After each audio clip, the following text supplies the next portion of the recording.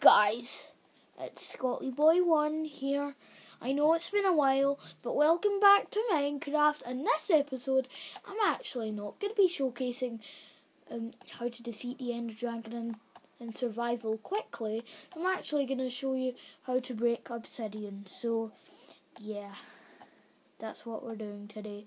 It might it might sound quite boring, but it is what it is. So let's get into breaking open this obsidian. No, I, now, if, if, if you know that the only way to break a to, to break a obsidian is with a diamond pickaxe. It takes as long as mining stone with your hand. Oh, sorry guys.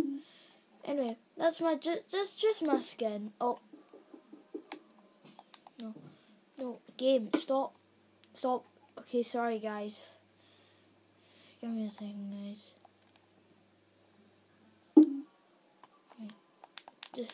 Alright, so we're back. Sorry about that. I just had to uh, sort out my game. Because it keeps glitching on the PlayStation 3. I have no idea why. But yeah, that's what it does. I'm gonna break one more piece of obsidian and then that'll be the video ended. I'll break I'll break three pieces.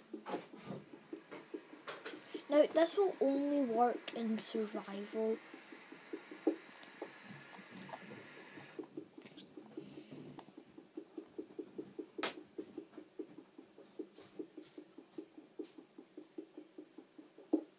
Now I'll probably break one more and then I'll be done.